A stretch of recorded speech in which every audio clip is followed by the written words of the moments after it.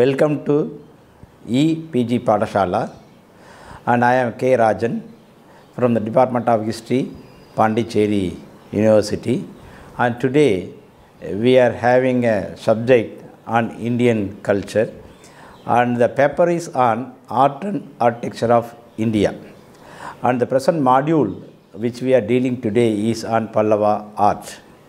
And the purpose of having a Pallava art is that to know about the development of Pallava art and to understand the theme and content of the Pallava art, to understand the evolutionary process of sculptural art, to estimate the impact of Pallava art in South Indian culture.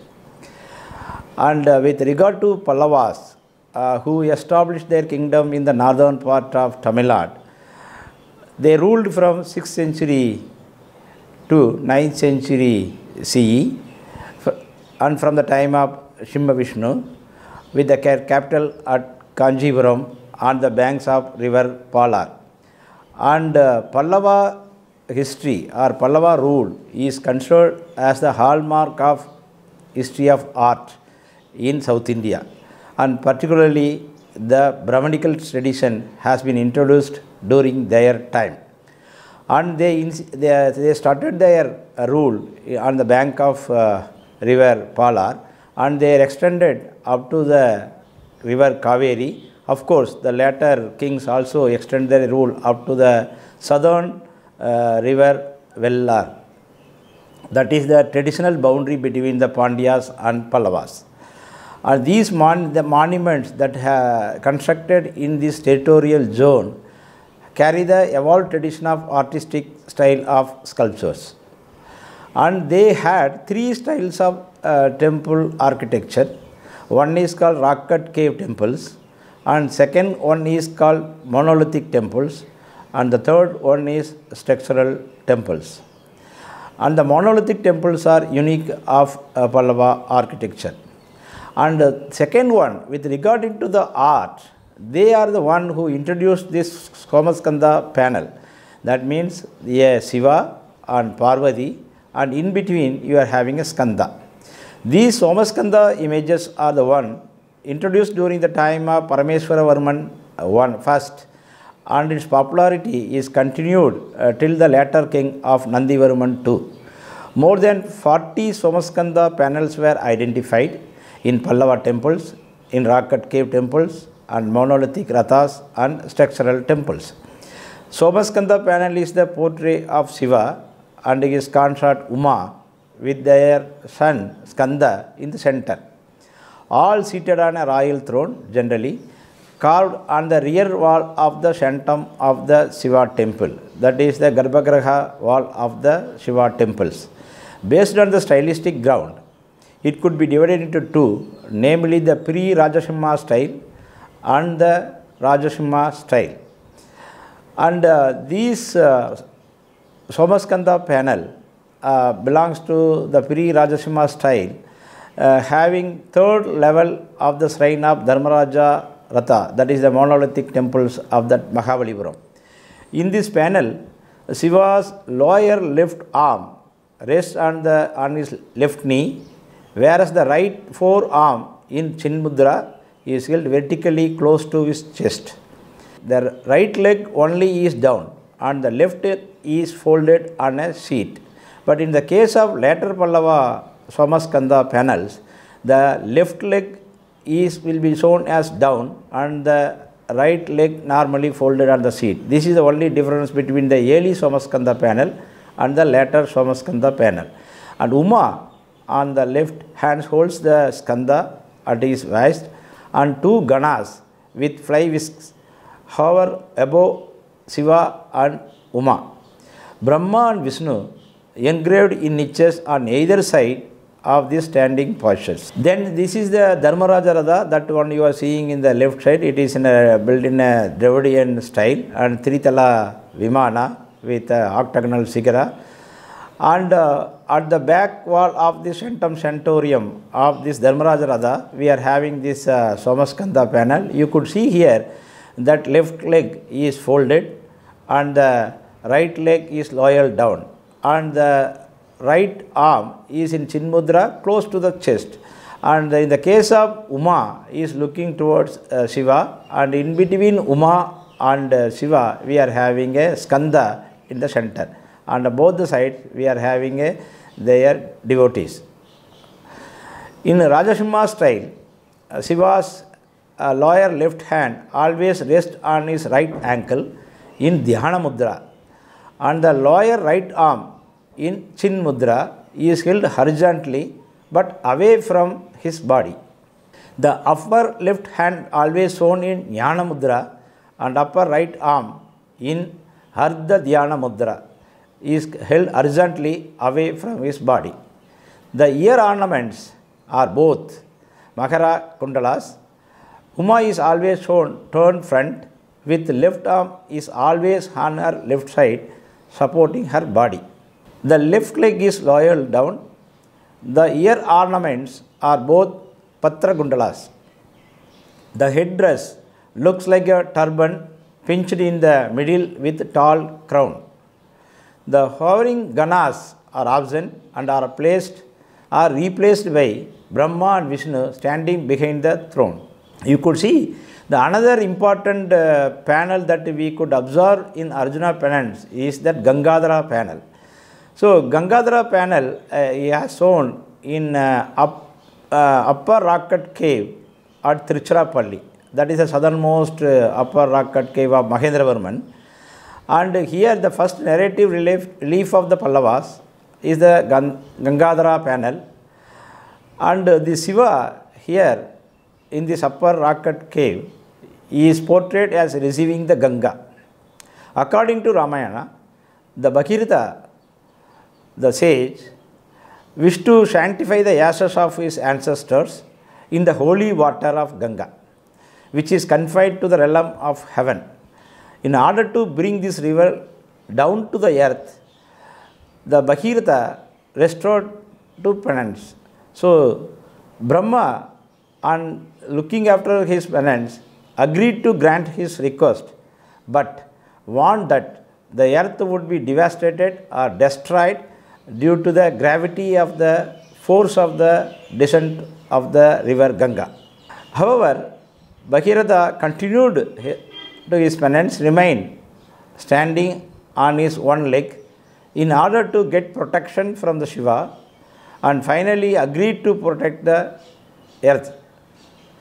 It is the Gangadhara theme in which Shiva controls the fury of descending river Ganga by holding her captive in the locks of his hair until Ganga flows gently to the earth. Such Gangadhara panel also appeared in Kailasana temple at Kanchipuram. And uh, this is one which you are having is upper rock cut cave and uh, at Tiruchirappalli. You could see that one.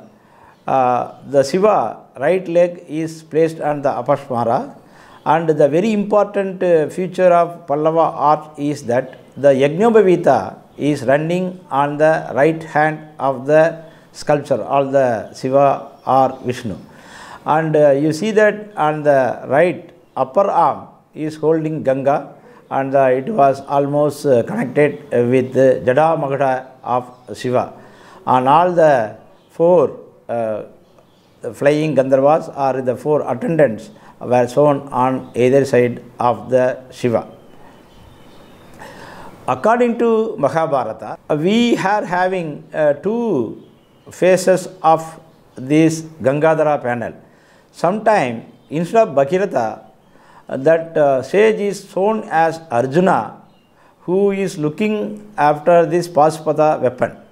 So, according to the Mahabharata, the Arjuna wearing a deer skin, standing on the tip of the one toe with folded hand, and kept over his head, practiced penance with starvation to get Pashupata weapon from Shiva.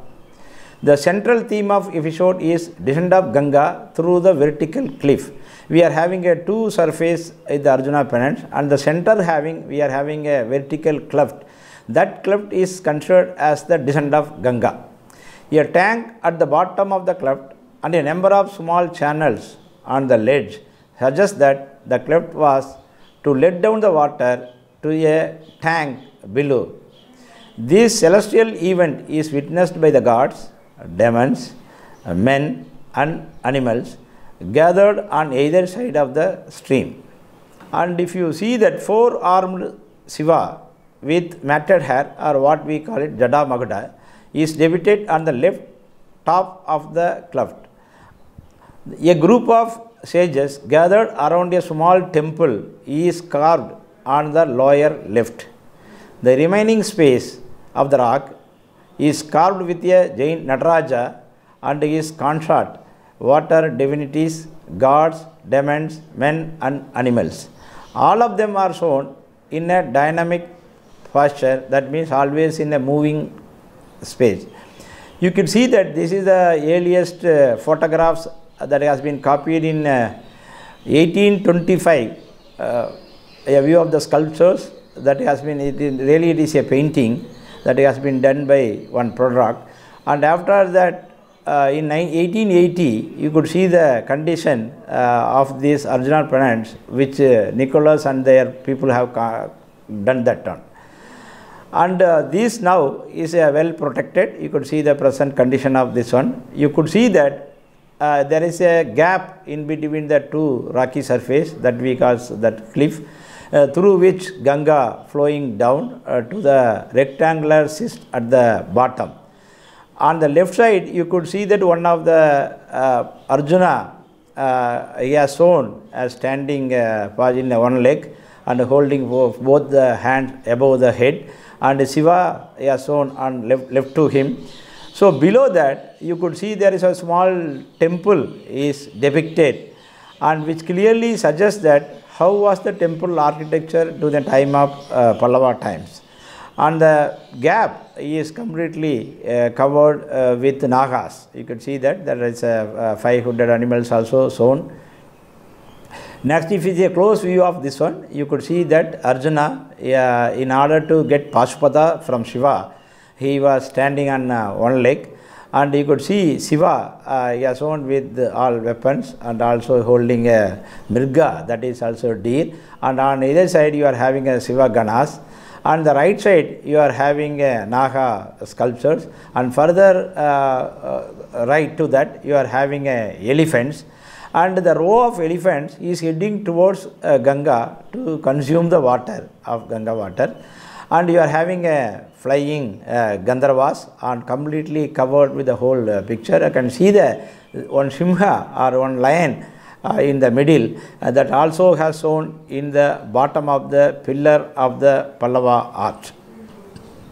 This is next one is a Mahishasura Mardini uh, panel in which uh, uh, is standing on the right. Uh, he is almost uh, bigger than the size of uh, uh, Durga and uh, Durga is shown very uh, seated on a lion, pouncing lion and on the left side you could see several uh, ganas are holding uh, the weapon in a charging position and uh, the both this beautiful uh, sculptured panel namely Mahishasura Mardini and Ananda Sayana or Vishnu Sheshai are placed at opposite side of the walls of the Mahishasura Mardini Mandapa.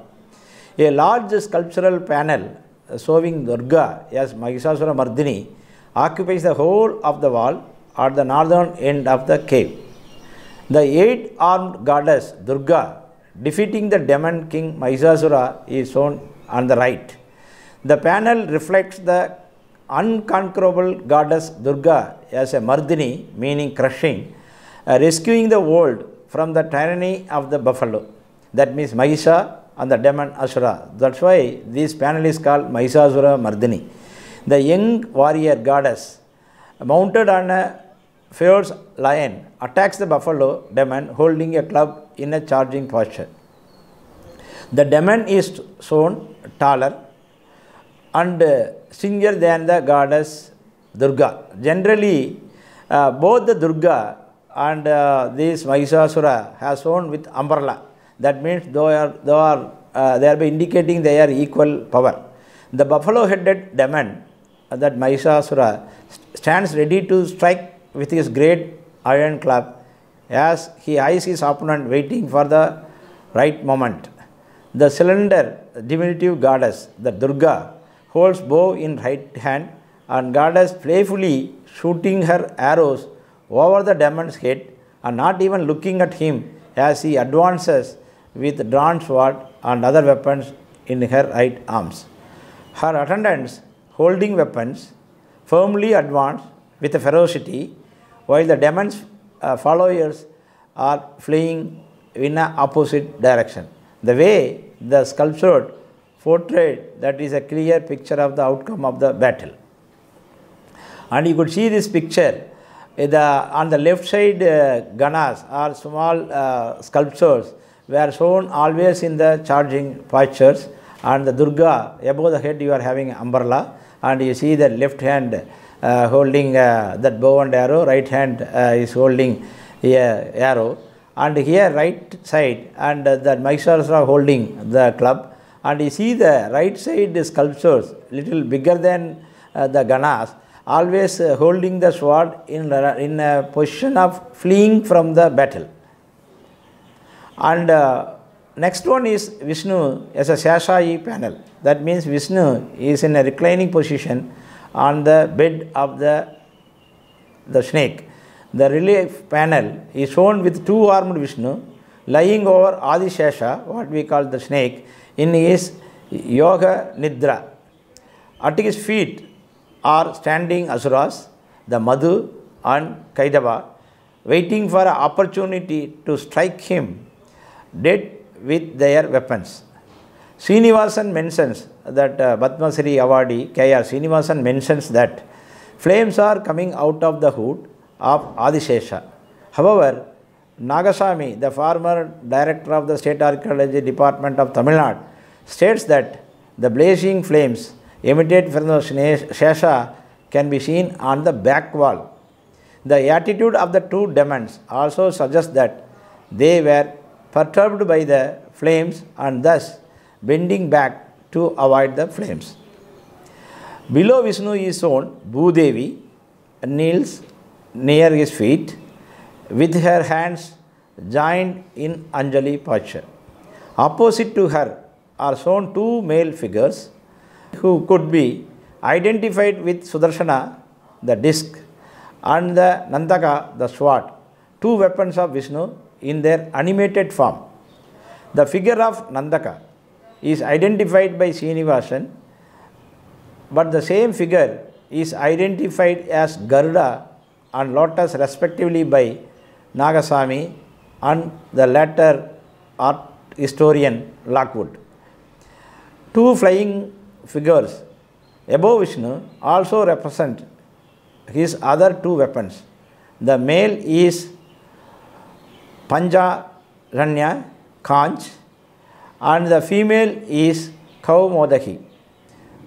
So that way you could see here in this picture the flying Gandharvas are above Vishnu and the, on the head of Vishnu he is covered with the hoods of the Shashayi and the, below that you are having a Bhudevi and with an Anjali posture on the right side and the left side you are having a, a god. So this way uh, this uh, uh, Adi has been represented. And another one is a Varaha panel or Bhumi Varaha. The two lateral walls. And the walls on either side of the central shrine of the Varaha Mandapa at Mahabalipuram are adorned with four sculptural panels uh, which the, such as the Vishnu lifting the earth out of the ocean.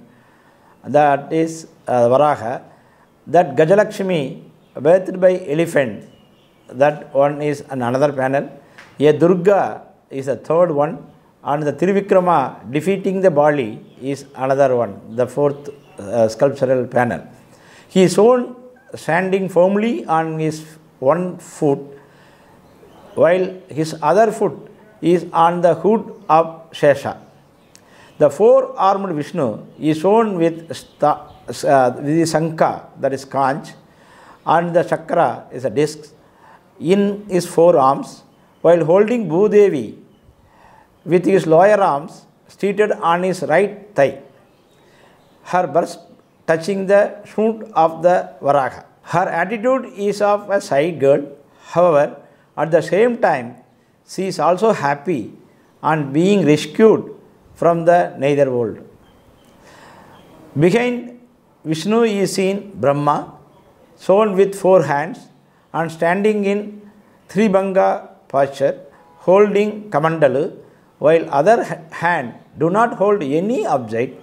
One right hand is resting on his waist, while the other is in Kataka Mudra. So you could see the panel of this uh, Varaha panel. You can see that Vishnu as a Varaha uh, standing uh, straight and his right leg uh, placed over the head of a snake of hood and uh, he is holding bo- this Devi and uh, his nose is almost touching the breast of the Devi and on both the side you are having the devotees. Gajalakshmi panel is another feature of the Pallava art. On the back wall of the Varaha Mandapa, left of the central shrine, you could see a relief of Gajalakshmi at Mahabalipuram. She is shown seated on a lotus. You could see this a lotus uh, pedestal with her two hands in Kataka Mudra. She has a curious Jata Makuta. Normally, the goddess is given a Karanda Makuta, but here it has shown with a Jata Makuta. Very characteristic feature of the Pallava art. She is attended by four uh, maidens, uh, female maidens, uh, two on each side. The two maidens are holding water vessels, two holding other objects, maybe uh, flowers, and above the uh, Lakshmi, the two elephants have been shown. You can see on either side, and one is uh, the trunk is raised above. So this, that's why it is called as Gaja Lakshmi panel. The two majestic elephants are on upper corners. One is in the process of pouring a water from a vessel on Lakshmi, while the other is in the process of lifting a vessel to follow the other elephant. This scene represents the birth given to goddess Lakshmi from celestial elephants, including Airavata. When she emerged from the ocean during the episode of Samudra Manthana, this Airavata is the Vahana of Indra. So, Gajalakshmi panel, you can see the close view of that. You can see the feet is uh, rested on the lotus and you see that two elephants, one is holding a vessel and another is lifting the vessel. On either side, you are having a two maidens holding a water pots. Then another panel, which is very interesting panel, is a Durga panel. This Durga panel is depicted on the back wall of the right central sign of the Varaha Mandapa. And you can see that the umbrella has shown uh, above the head of the Durga and the Ganas or that, uh, that dwarfs are, are shown on either side. To indicate is a Durga, we are having a line on the left side and also the deer is shown on the right side. Then the people are seated at, the, at her feet. She is shown with four hands holding uh, Shanka, the conch, and the chakra, the discs. Her one hand is on her right thighs and one knee is in Abhaya Mudra. The parasol above her head suggests her royal status. Lion and the deer, the stag, mounts of Durga are in upper corners. Below them are four ganas, two on each sides. Near the feet of the goddess are two devotees. One on her right is holding his hair and holding a sword on his neck, while the one on her left has raised his hand in adoration. So, the devotees found in this panel are so indeed a curious and interesting as it appears that they signify a blood sacrifice in honor of the goddess. Then, almost the final one is the Trivikrama uh, panel. The lateral wall of the Varaha Mandapa on the right side has a relief of Vishnu in his Trivikrama form. Vishnu, in his Vamana incarnation, took the form of Trivikrama after being granted three steps of land from King Bali. You could see that the left leg is raised on the above the head of the Bali and you can see that Vishnu holding the weapons all in a form of Trivikrama.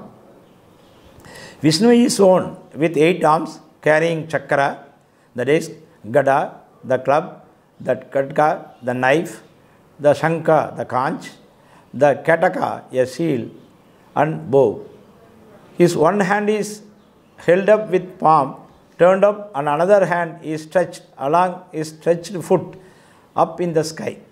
The whole scene can be divided into three parts. The upper part represents the Swarga, the heaven. The middle part, sky, and the lower part represent the earth. In the upper part is shown Brahma and Shiva seated on a lotus. In between Vishnu and Brahma is shown Jambavan beating drum. Middle part of the panel has Surya and Chandra. Both represent the sky. On the lowest level, the earth near the feet of Trivikrama are shown four people, two on either sides. The second are the seated figure. Immediately to the right of Trivikrama is likely to be his Mount Garuda. The other figure close to the lake is Sunandana. On the extreme left is a seated royal figure, King Bali, holding a long necked vessel. Seated before him is Sukracharya in agitated posture, the guru of King Bali. Then, besides these uh, panel, Hindu uh, sculptural panels, we are having portrait sculptures that is representing the kings, Pallava kings. The portrait sculptures are found the cave temples at, and Radhas at Mahabalipuram. These are the portraits of the Pallava kings and also bear inscriptions. However, the identity of these kings has not yet reached a consensus among the scholar community, K.R. Srinivasan, R. Nagaswamy and Lockwood. In one panel, in Adivaraha Mandapa, we see a king seated in Sukhasana posture on a seat with two of his standing queens.